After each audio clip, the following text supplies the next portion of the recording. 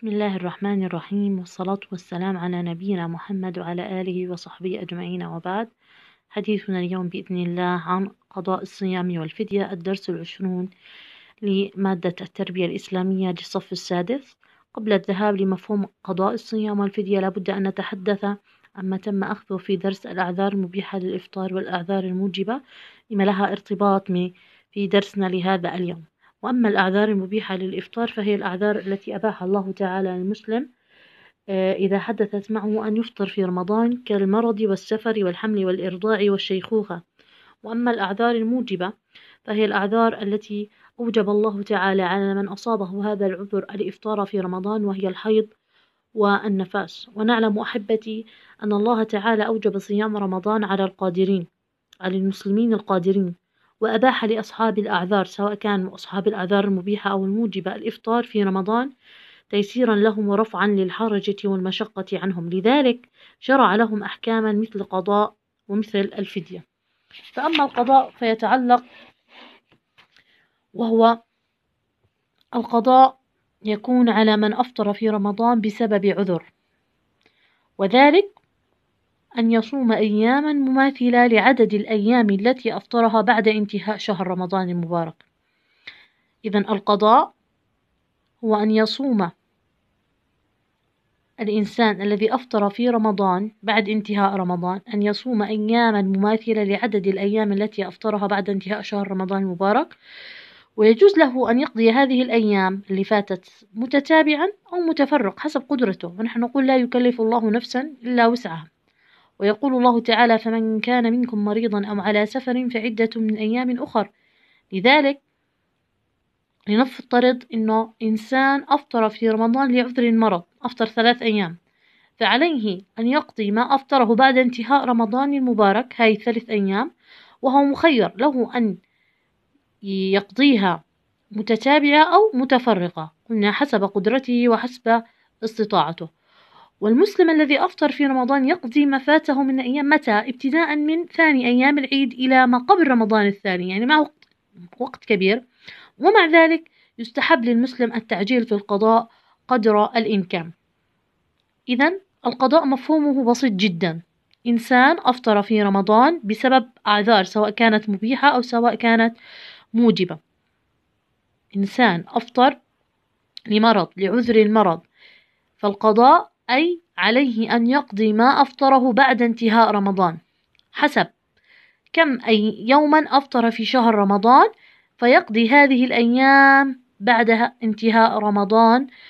وقلنا الفترة هي من ثاني أيام العيد إلى ما قبل رمضان التالي.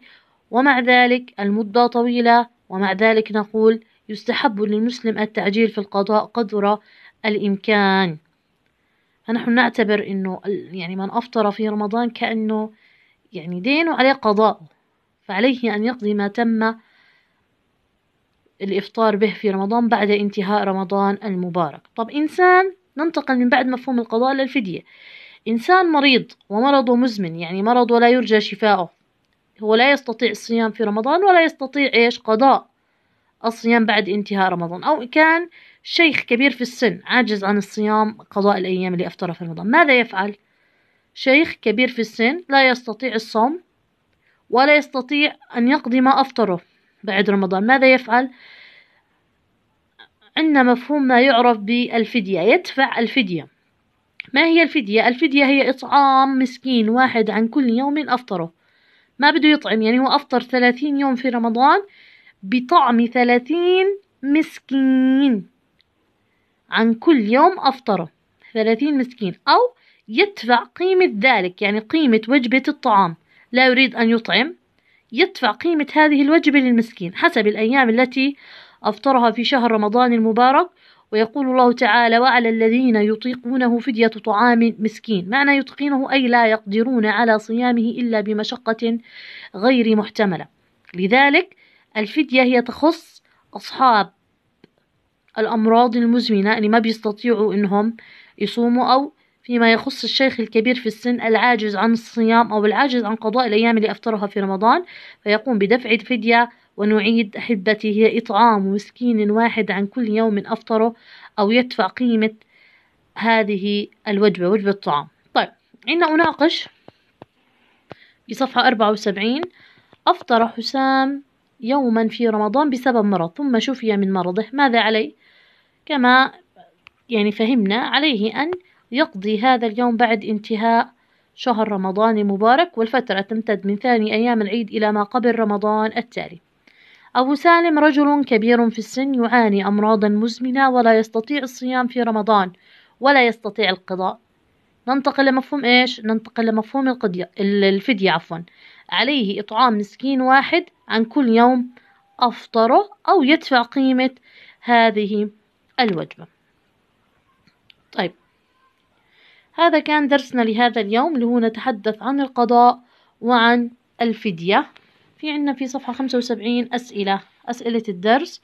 مطلوب منكم آه، أحبتي القيام بحل هذه الأسئلة على الدفتر وإن شاء الله سوف نبقى على متابعة معكم. هذا كان درسنا لهذا اليوم. والسلام عليكم ورحمة